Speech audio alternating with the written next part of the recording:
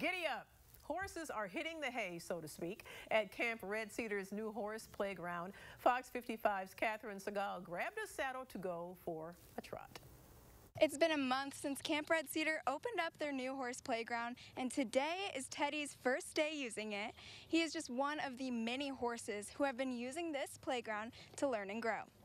Since its ribbon cutting ceremony, the horse playground has been used for recreational therapy, camps, and just all around horseplay.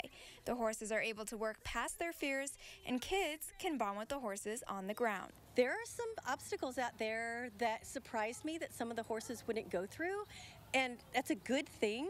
Um, because we can walk through them or we can walk them through it and help our clients and the rec therapists can help their clients um, understand and empathize with the horses. Each feature has a talking point that goes along with it. The car wash, patience. The teeter-totter, bravery. And completing the course, perseverance. And work on the horse playground is just beginning. Cindy Neeser with Camp Red Cedar says they plan to add more features like mailboxes, a basketball hoop along this fence line, and a sensory trail. In Fort Wayne, I'm Catherine Segal, Fox 55 News.